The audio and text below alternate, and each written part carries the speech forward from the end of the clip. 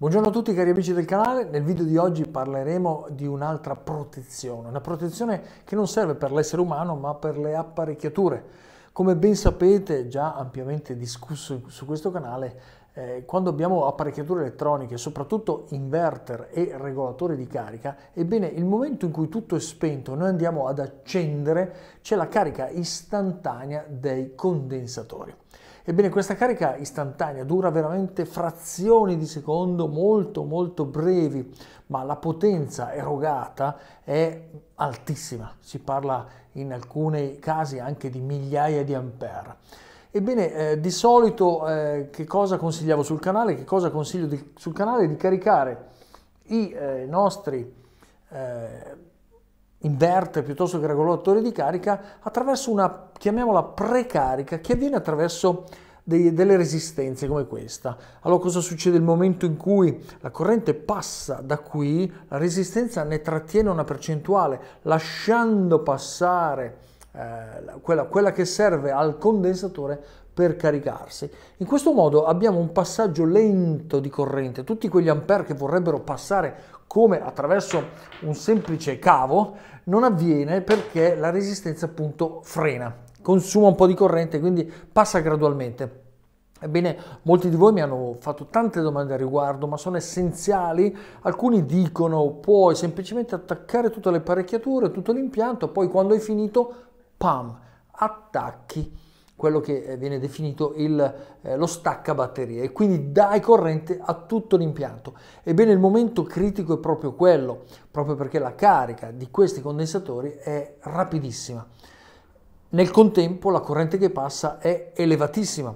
Ora questo è un condensatore classico di un, di un inverter eh, si trovano affiancati diciamo, ai MOSFET, eh, sono quelli che hanno una funzione di, di, di, di, erogare potenza, di dare stabilità a tutto il circuito dove la corrente viaggia in up and down a velocità altissime.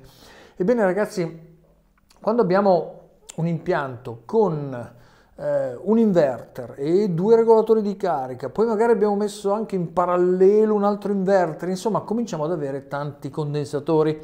Ebbene io vi dico che questa è un'apparecchiatura standard, ma ci sono anche apparecchiature che forse voi non avete mai visto con condensatori di questa tipologia. Ebbene, caricare uno di questi, attenzione, non stiamo parlando dei super condensatori, dei super caps, dei capaci- super capacitori, no, quella è tutta un'altra categoria di farad. Qui siamo nell'ordine dei microfarad, ma la potenza che entra qua, vedete qua ci sono anche degli M5 per uh, avvitare eh, il cavo, eh, per connettere il cavo. Ebbene, se vi dicessi anche che ci sono apparecchiature con questi condensatori, eh, ragazzi, dallo standard, eh, spero che non mi cada, dallo standard che, che si propone sugli inverter per arrivare a questi, eh, poi vi farò vedere eh, a cosa si riferiscono questi condensatori, ebbene noi dobbiamo, sul mio consiglio, ma come sapete ognuno è sempre libero di fare ciò che vuole, dobbiamo caricare in maniera eh, logica, ovvero precaricare i condensatori prima di accendere un impianto. Come si fa? Si usa un resistore, si usano eh, questi prodotti molto semplici ed economici li avete già visti sul canale. Se avete invece potenze come questa, e vedremo poi per cosa sarà utilizzata nei progetti futuri, eh, vedete che la differenza è sostanziale. Quindi abbiamo diverse potenze da poter utilizzare. Questa è una standard che quindi eh, questa è 100 watt se non sbaglio, sì, questa è 100 watt 15 ohm, con questa possiamo caricare qualsiasi cosa usiamo questa solo se abbiamo insomma, cose veramente significative. Bene, quindi quando abbiamo un inverter piuttosto che eh, ibrido toroidale, eh, oppure abbinato c'è anche un regolatore di carica o due o quattro come nel video nella playlist che sto realizzando sul Victron con quattro regolatori di carica e il Victron 4 da 15.000 volt ebbene tutti questi condensatori quando noi agganciamo fanno partire un botto di corrente, le batterie fanno partire un botto di corrente e potremmo avere delle problematiche. Dove presso tutte quelle apparecchiature che purtroppo sono sensibili ai passaggi di corrente altissima. Seppur per breve periodo, questa corrente è altissima, quindi alcuni integrati, alcuni circuiti, alcune apparecchiature che sono delicate, alcuni MOSFET anche, quando sentono questo passaggio può darsi che vi danno l'allarme, può darsi che si brucino. Allora a volte quando eh, si fanno dei test o delle verifiche, come mai si è bruciato un componente, un inverter, a volte non si riesce a risalire proprio perché questo danno è visibile solamente se cominciamo a lavorare nelle verifiche con gli oscilloscopi e quant'altro. Quindi nel fai da te noi ci troviamo con un inverter bruciato, con un regolatore di carica bruciato.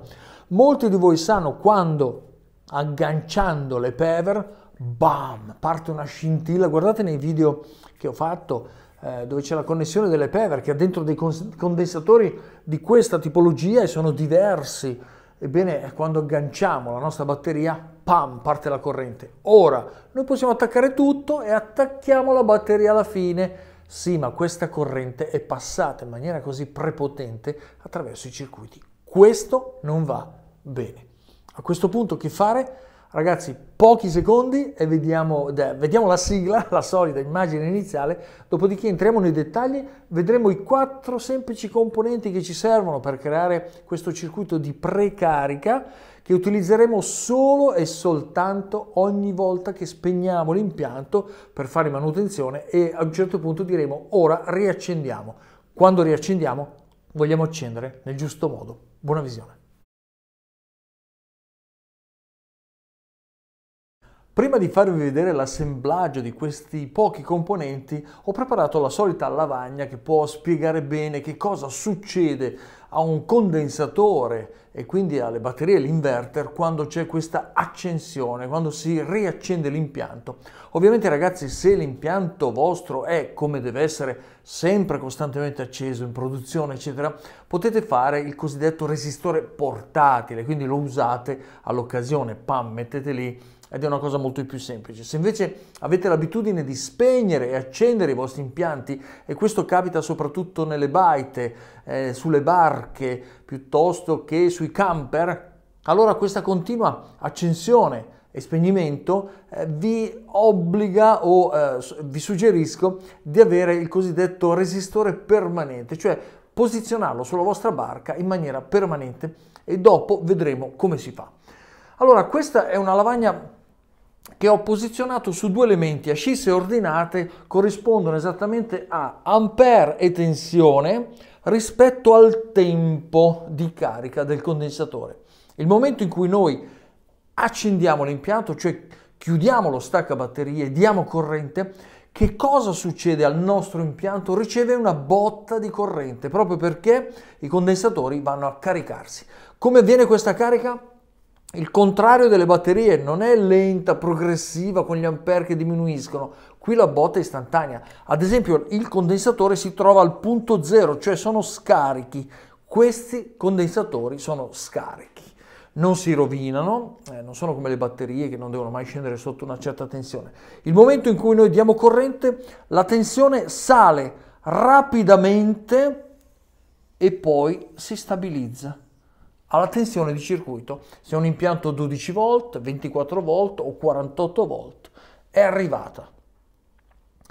Vedete che la salita è molto rapida, proprio perché la carica è velocissima. Adesso guardiamo la cosa più importante, la corrente, cioè gli ampere che entrano. Il momento in cui accendiamo non c'è una carica lenta del condensatore, ma è istantanea, millisecondi. Ebbene, abbiamo una salita degli ampere fino a qualche migliaia, può essere 1000, 2000, 3000 ampere. Per quanto tempo? Pochissimo. Pam! Subito si scarica l'energia che, che è entrata un secondo prima. Ebbene abbiamo, come avete visto, sui volt, bam, una salita, stabilizzazione. Sugli ampere picco istantaneo e poi discesa crolla l'amperaggio perché sono già pieni. Però in questo punto, che è il punto della accensione, noi possiamo avere per qualche millisecondo 1000, 2000, 3000 ampere che sono passati dal vostro BMS, dai MOSFET, da alcuni integrati, eh, da, da, dalle resistenze, insomma in tutti quei circuiti che purtroppo ne subiscono questo shock, eh, questo, questo, questa velocità, questa rapidità in termini di ampere.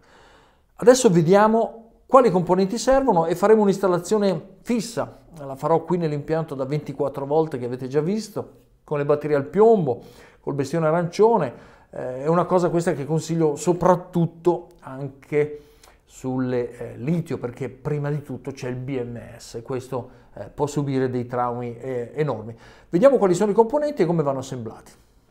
Qui vedete l'impianto 24 volt che già conoscete, qui ci sono le batterie al piombo della forklift, questo è un fusibile e questo è lo stacca batterie, cioè accendendo la corrente va a alimentare tutto l'impianto, entrando prepotentemente nell'impianto passando quindi eh, per caricare i condensatori.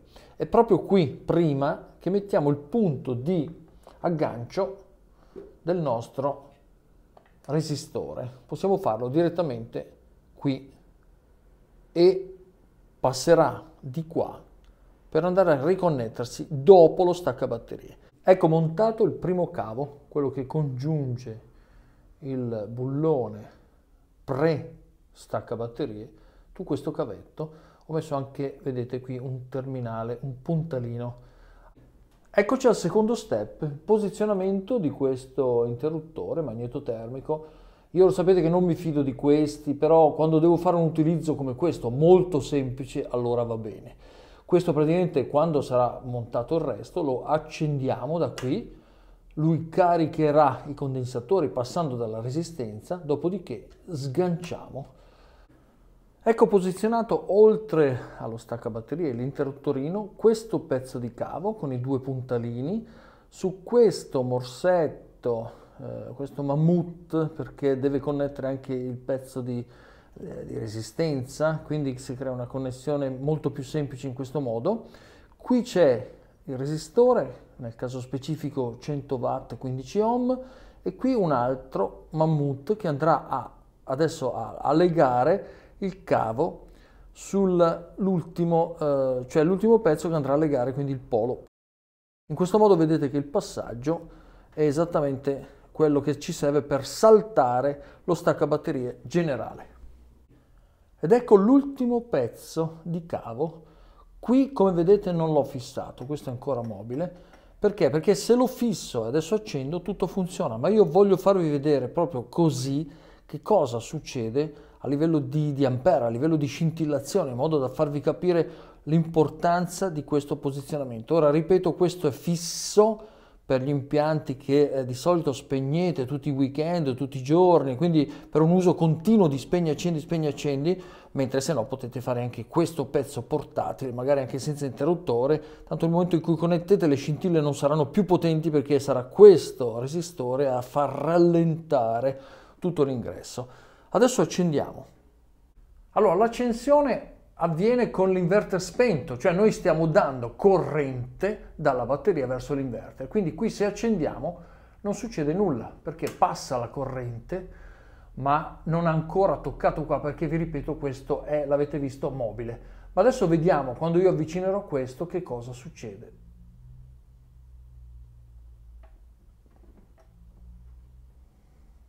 Avete visto? Niente. E si sono caricati i condensatori, cioè è bastato un secondo. A questo punto noi cosa facciamo? Accendiamo questo e stacchiamo questo. Abbiamo precaricato i nostri condensatori dell'inverter e a questo punto possiamo anche accendere l'inverter. Ci sarà qualche secondo di attesa, le ventole che partono Ecco che si è innescato, perfetto. Vedete? L'inverter è partito, tutto è funzionante, tutto è perfetto, zero scintille, avete visto lì. Adesso però vogliamo fare una prova al contrario, cioè connettendo questo punto dove non c'è appunto la resistenza. Ho staccato il resistore, vedete? Ho connesso il cavo prima e qui siamo praticamente su batteria, polo positivo. Eh, voglio fare questo esperimento per farvi vedere cosa succede quando noi connettiamo questo al polo positivo ed è esattamente quello che succede qua dentro quando noi attacchiamo. Questa BAM, questa carbonizzazione eh, è nociva per questo apparecchio, ma soprattutto, come spiegato nel video, per tutta l'elettronica che c'è. Prima, se abbiamo il BMS con le litio, sui morsetti delle piombo, se non sono eh, fortemente affrancati, perché è uno shock anche lì, seppur minimo, ma soprattutto su tutta l'elettronica che c'è in termini di MOSFET, eh, circuiti e quant'altro. Vediamo la connessione per, eh, per diretta tra il, i poli. Avete visto? Una scintilla brevissima ma potentissima.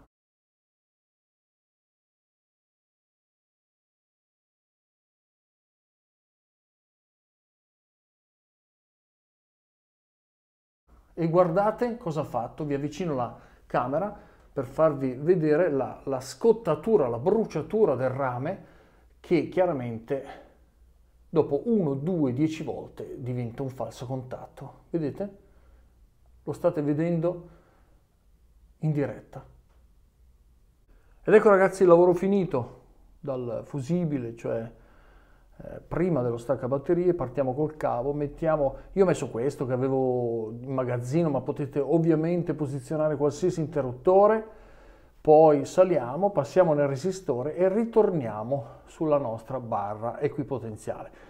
In questo modo noi abbiamo eh, fatto la precarica del, dei condensatori del nostro inverter eviteremo di fare degli shock in termini di corrente sulle apparecchiature. Come si accende? Semplice, precarica, quindi adesso si stanno caricando i condensatori lentamente attraverso la resistenza, poi accendiamo questo e non abbiamo creato nessun disturbo, dopodiché passiamo all'accensione del nostro inverter. Lui si accende, fa la sua procedura, parte con la ventola e siamo pronti all'utilizzo una cosa importantissima quando abbiamo precaricato è sganciare la precarica in modo che l'alimentazione rimane solo sul busbar principale e non certo attraverso questo cavetto.